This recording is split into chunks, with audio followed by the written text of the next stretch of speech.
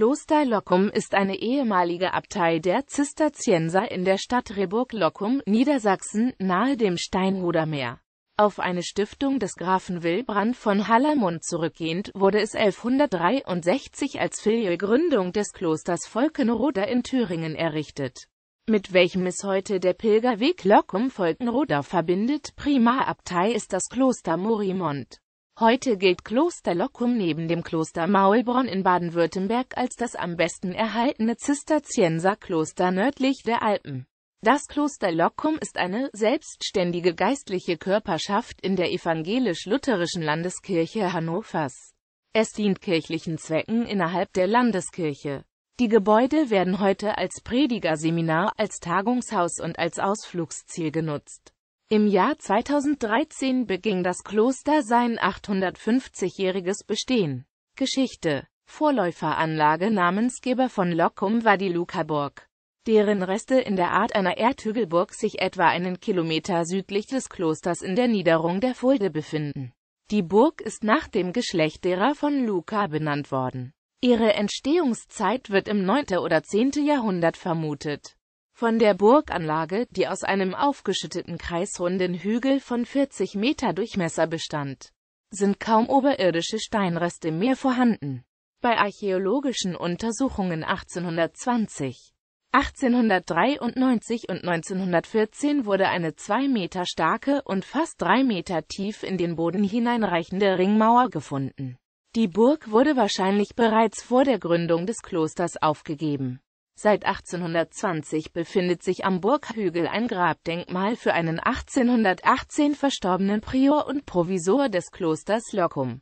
Gründung im Jahr 1163 kamen ein Abt und zwölf Mönche aus dem thüringischen Zisterzienserkloster Volkenroda nach Loccum, um hier eine neue Niederlassung ihres Ordens zu gründen. Die Ansiedlung der Mönche erfolgte durch eine Stiftung von Wilbranti von Loccum Hallermund als Graf von Hallermund.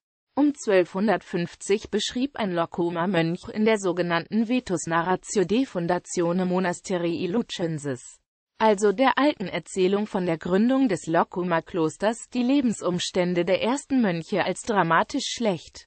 Danach hätten die Mönche sich an einem Ort des Schreckens und weiter Einsamkeit niedergelassen, einem Ort des Aufenthalts von Räubern und Wegelagerern. Auch die wirtschaftlichen Verhältnisse seien so gewesen, dass die Gründerväter Loccums in Hunger und Durst die Armut Christi nachgeahmt hätten. Trotz Kälte und Hitze hätten sie aber nicht abgelassen zu arbeiten, bis sie aus der Räuberhöhle ein Haus des Gebets gemacht hatten. Diese Zustände hätten den in den Statuten der Zisterzienser festgelegten Idealen entsprochen.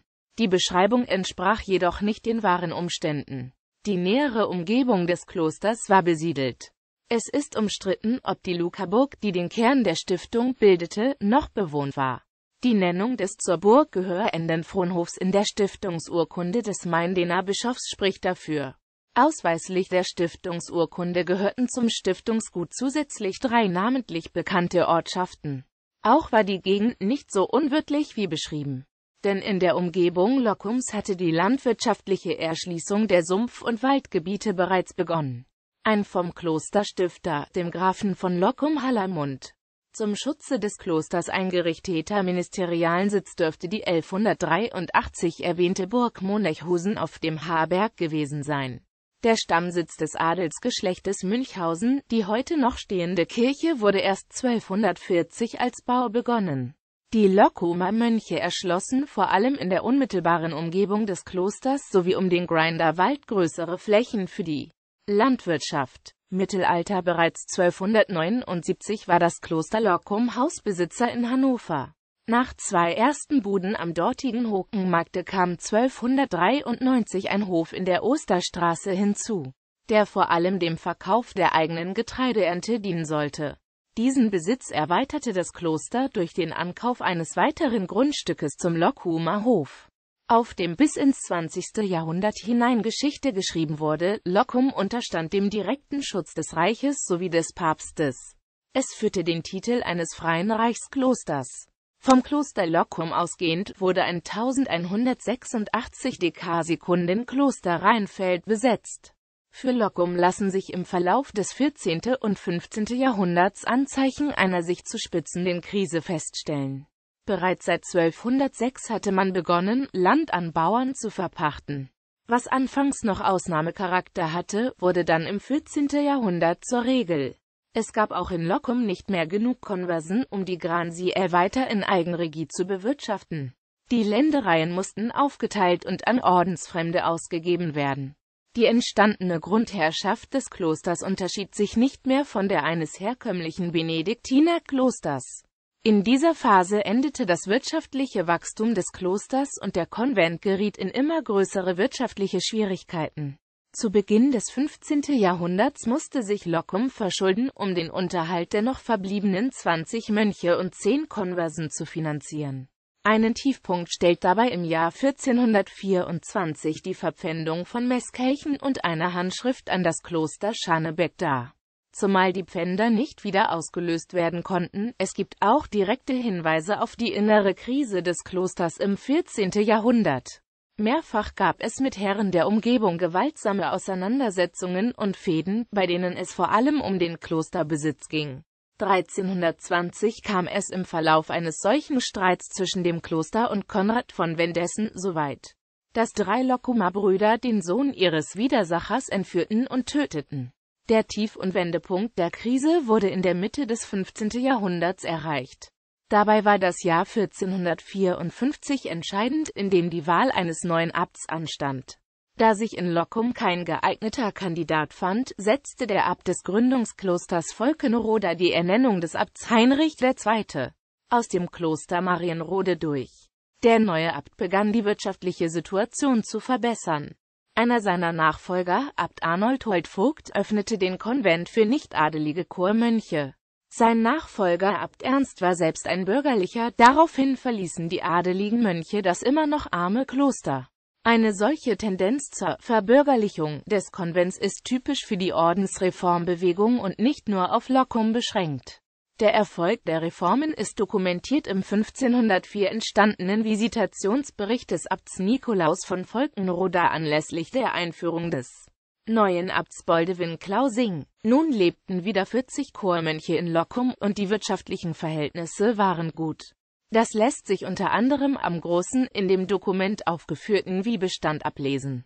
Reformation 1585 kam das Lockumer Kloster bei Bestätigung aller bisherigen Rechte unter die Hoheit der welfischen Landesherren. Ende des 16. Jahrhunderts nahm es die Augsburger Konfession, also das Luthertum, an. Im Dreißigjährigen Krieg fanden die Lockumer evangelischen Konventualen zeitweilig auf dem Lockumer Hof in Hannover Zuflucht. Nachdem das Kloster durch das Restitutionsedikt eine Zeit lang durch einen katholischen Zisterzienserkonvent besetzt war. Mit dem Übertritt zur evangelischen Kirche war ein Ende des mönchischen Lebens im ursprünglichen Sinn verbunden. Die Konventsmitglieder, jetzt lutherische Geistliche, legten nicht mehr die klassischen, für die gesamte Lebenszeit bindenden Mönchsgelübde der Armut, des Gehorsams und der Keuschheit ab, sie hatten das Recht, sich zu verheiraten. In diesem Fall mussten sie jedoch aus dem Konvent wieder austreten. Austritte sind überhaupt aus verschiedensten Gründen bezeugt und waren unproblematisch. Die Mitgliedschaft im Konvent hatte den Charakter einer zumindest potenziell zeitlich begrenzten beruflichen Stellung angenommen und war in der Regel keine Lebensentscheidung mehr. Die Gemeinschaft behielt aber ihr Klostererbe bis zur Agrarreform im 19. Jahrhundert und wurde seit dieser Zeit als Kahlenbergischer Landstand geführt. Die landständische Eingliederung war verbunden mit der Übernahme des Vorsitzes in der Ständeversammlung, dem Kahlenberger Landtag. Durch den jeweiligen Abt des Klosters eine Aufgabe, die bis heute wahrgenommen wird, Hexenprozesse. Im Stiftsgebiet Locum gab es zwischen 1581 und 1661 insgesamt 54 belegte Hexenprozesse. Höhepunkt waren die Jahre 1628 bis 1638 während der konfessionellen Auseinandersetzungen. Etwa 33 Menschen wurden in Hexenverfolgungen hingerichtet.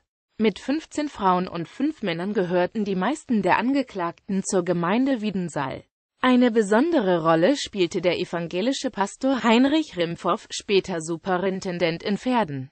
Genannt großer Hexenverfolger und Hexenriecher. Er publizierte 1647 Dekasekundenbuch Drachenkönig, das ist wahrhaftige deutsche christliche und hochnachwendige Beschreibungen des grafsamen hochvermaledeiten Hexen und Zauberteufels in Rinteln. In einem der letzten Prozesse wurde am 2. Juni 1660 Gesche Köllers, VW Weimars aus Wiedensaal, im Stiftsort durch das Schwert hingerichtet. Klosteranlage Das Kloster Lockum ist bekannt für seine gut erhaltene, bis in die spätromanische Zeit zurückreichende Bauanlage mit Kirche, Kreuzgang und den anliegenden Räumen sowie den Wirtschaftsgebäuden.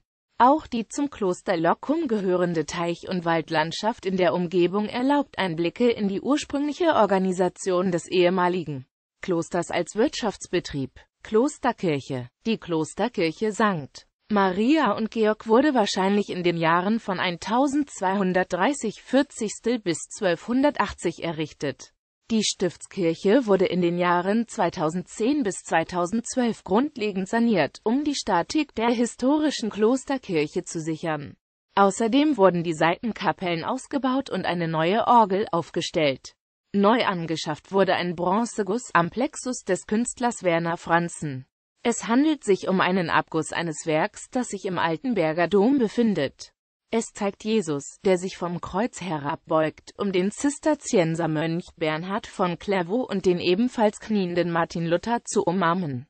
Punkt, Punkt, Punkt, Punkt, Punkt, Punkt, Punkt, Punkt. Orgeln Die Geschichte der Orgeln in der Klosterkirche reicht zurück in das 14. Jahrhundert. Das erste, größere Orgelwerk wurde wohl 1417 erbaut, unter Verwendung von Material des ersten, kleinen Instruments. 1599 erbaute der Orgelbauer Andreas Demare die dritte Orgel, die im 18. und 19. Jahrhundert erweitert und in einem neuen Gehäuse untergebracht wurde. 1947 wurde das Instrument beim Brand der Kirche, verursacht durch einen Brand im Orgelmotor, vernichtet.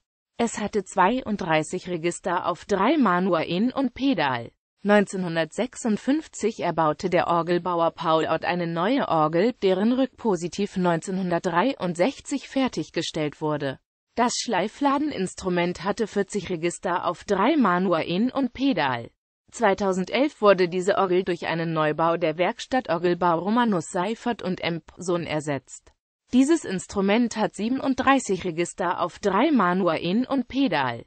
Ein Großteil der Register des Hauptwerkes steht auf Wechselschleifen, die damit eine Registrierung auf das zweite Manual ermöglichen.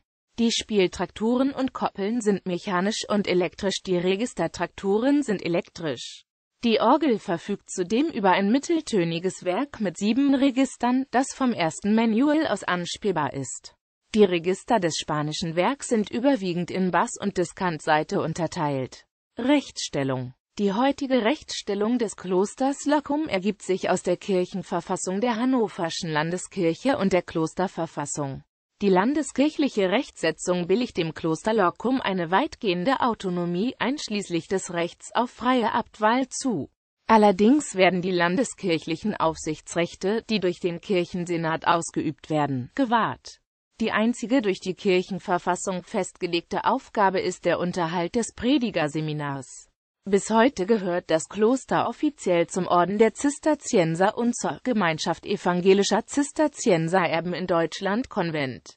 Kloster Locum als selbstständige geistliche Körperschaft besteht aus dem Abt, der den Vorsitz innehat, und den in der Regel vier bis acht Konventualen, diesem neunköpfigen Konvent, dem Kloster, gehören zumeist Geistliche und Juristen an. Er ergänzt sich selbst. Der Landesbischof der Hannoverschen Landeskirche ist Mitglied eigenen Rechtes. Der Konventualstudiendirektor des Predigerseminars ist für die Dauer seiner Amtszeit Mitglied. Die Konventualen und der Konvent wählen den Abt und den Prior des Klosters Locum. Der Konvent ist grundsätzlich frei in der Abtwahl. Allerdings hat der Kirchensenat der Hannoverschen Landeskirche das Recht der Einflussnahme auf die Wahlliste. Das Konventshaus wurde zwischen 1778 und 1780 als eindrucksvoller spätbarocker Fachwerkbau neu errichtet. Verbundene Einrichtungen Predigerseminar Das Predigerseminar der e.V. Lud Landeskirche Hannovers im Kloster Loccum wurde 1820 gegründet. Es ist eine Einrichtung der Hannoverschen Landeskirche und seit 2009 deren einziges Predigerseminar für die Ausbildung von Vikaren nach dem Studium. Während der zweiten Ausbildungsphase zum Pastor. Im Rahmen von Kooperationsvereinbarungen werden auch Vikare der anderen Landeskirchen auf dem Gebiet Niedersachsens und Bremen ausgebildet. Das Predigerseminar wird von einem Kuratorium beraten und beaufsichtigt. Den Vorsitz führt ein Vertreter der Ausbildungsabteilung im Landeskirchenamt Hannover. Zudem gibt es den Ausbildungsbeirat, in dem Vertreter der an der Ausbildung beteiligten Einrichtungen und Gremien einen runden Tisch bilden. Die Leitung des Predigerseminars obliegt dem Konventualstudiendirektor der vom Kuratorium im Einvernehmen mit dem Konvent des Klosters Loccum vorgeschlagen und von der Landeskirche Hannovers berufen wird. Die Wurzeln des Predigerseminars reichen bis in die Wende vom 18. zum 19. Jahrhundert. Ein geregelter Studienbetrieb begann auf Initiative des Abtes Johann Christoph Saalfeld im Jahre 1795. In den welfischen Ländern gab es zuvor bereits praktisch theologische Ausbildungseinrichtungen wie an den Landesuniversitäten in Helmstedt und Göttingen Akademie. Seit 1952 wirkt die Evangelische Akademie der Hannoverschen Landeskirche östlich des Klosters. Lockumer Vertrag Am 19. März 1955 wurde im Kloster Loccum der Lockumer Vertrag zwischen dem Land Niedersachsen und den evangelischen Landeskirchen in Niedersachsen abgeschlossen. Er regelt die Beziehungen zwischen dem Staat und den evangelischen Kirchen, die als Körperschaften des öffentlichen Rechts anerkannt sind. Der im Lockumer Refektorium unterzeichnete Vertrag ist richtungweisend für die Beziehungen zwischen dem Staat und den evangelischen Landeskirchen in Deutschland geworden. Äbte des Klosters in evangelischer Zeit Der Titel des Abtes wurde über die Reformation und das Ende des klösterlichen Lebens hinaus bis heute beibehalten. Johannes Fänger Johannes Bese, Theodor Strake. Dieser Abt orientierte sich im Rahmen des behutsamen Übergangs des Klosters zum lutherischen Glauben offenbar wiederum stärker am römischen Bekenntnis. Ein Gemälde des 2,05 Meter großen Mannes befindet sich an der Südwand des Kreuzganges im Kloster. Das Taufbecken im Westen der Klosterkirche ist nach seinem Maß gefertigt. Johanni X. Kitzo geboren 1594 als Sohn eines Pastors in Minden. Nach dem Studium der Theologie wurde er 1629 zum Nachfolger des verstorbenen Abtes, den er schon vorher vertreten hatte. Seine Amtszeit fiel in die unsichere Zeit des Dreißigjährigen Krieges. Ein Jahr nach seiner Einführung wurde durch kaiserliches Dekret die Rückführung des Klosters in katholische Obrigkeit verfügt. Da Kitzo nicht konvertieren wollte, wurden nacheinander zwei katholische Äbte eingesetzt. Erst als Gustav Adolf an Einfluss gewann und sich die Lage der Evangelischen wieder besserte, konnte K. sein Amt 1634 wieder übernehmen, das er bis zu seinem Tod innehatte. Seine Ehefrau, die er mit fürstlichem Dispens heiratete, durfte nicht in einer geringeren Entfernung als zwei Meilen vom Kloster wohnen. Sein Grab befindet sich in der nordöstlichen Ecke des Kapitelsaales. Johann X. Kotzebue, geboren 1616 als Sohn eines Pastors und Rektors in Quedlinburg. Studium der Theologie in Wittenberg und Helmstedt. Bereits konventual in Loccum wurde Kotzebue 1657 mit 41 Jahren zum Abt gewählt. Er bekleidete dieses Amt bis zu seinem Tod 1677. Fünf Jahre nach seiner Einführung heiratete er. Ebenfalls mit fürstlichem Dispens unter Rücksicht auf seine Leibesschwäche, auch seine Ehefrau durfte nicht im Kloster wohnen. Kotzebue hatte sechs Kinder. Sein jüngster Sohn wurde Abt von Bursfelde.